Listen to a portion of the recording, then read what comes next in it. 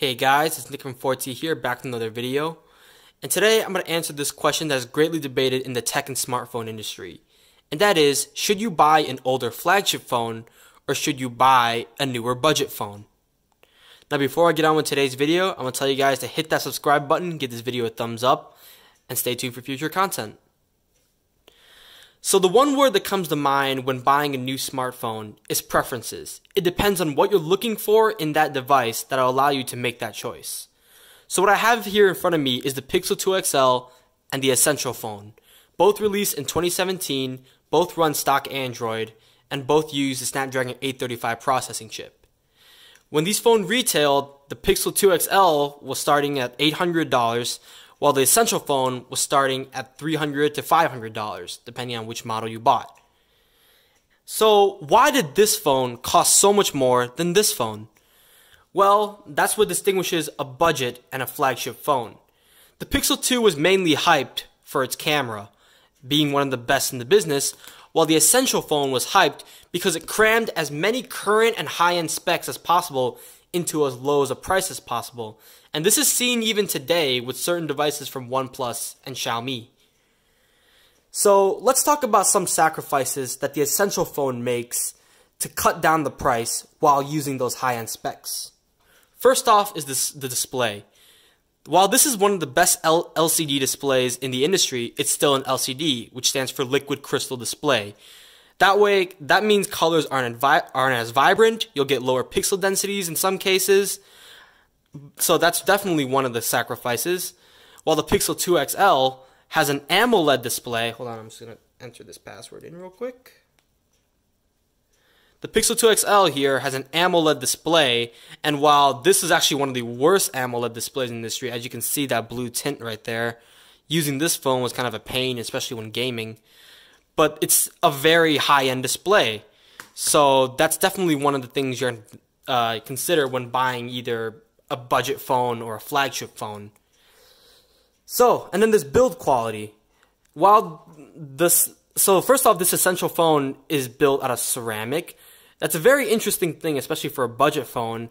However, even it's ceramic, I don't think it matches up to the even to the aluminum feel on the Google Pixel 2.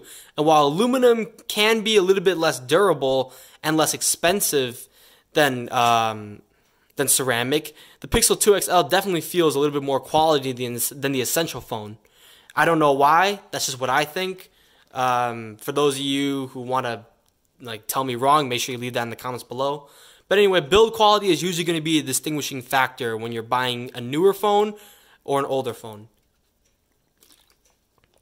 Okay, and then there's cameras. So the Pixel 2 XL and the and the Pixel 2 had easily one of the most hyped cameras for the uh, in 2017.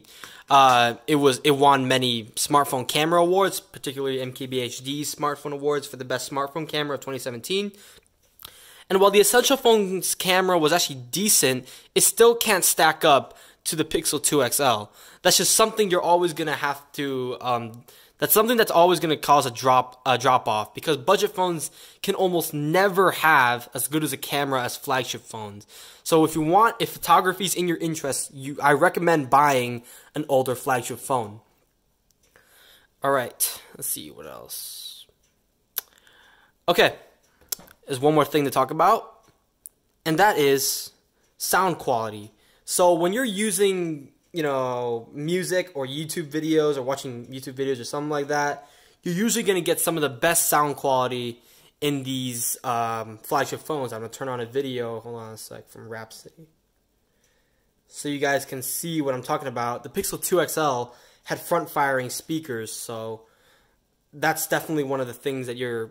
Oh my god, I dropped it. Alright. Hold on a sec. So I'm going to play some music from Rhapsody, no copyright intended. And I'm going to fire up the Essential phone as well. Give you guys an idea how good these speakers are. Let's let that play for a second. Yeah. Feels like I'm losing myself. Feels like I'm losing myself. Why am I doing myself? The fuck did I do to myself? Should have been true to myself. Dumb to think you would have helped. Dumb to think you would have helped. Feels like I'm brewing in hell. Feels like I'm brewing in hell. Can't be hard for you to tell. Uh, okay. Now I'm about to play the essential phone right here. Just give me a second. Alright.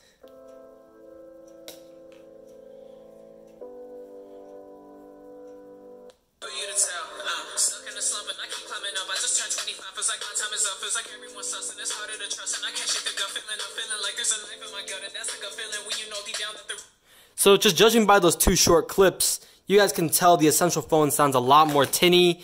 It's a lot less, you know, bass heavy.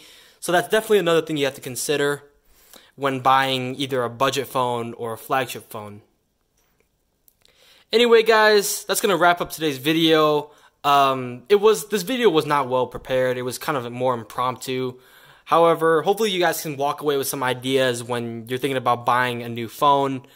Um, and yeah, so that's gonna be about it for today's video, guys. Thanks for watching. Make sure you guys subscribe, give this video a thumbs up, and see you guys later. Peace out.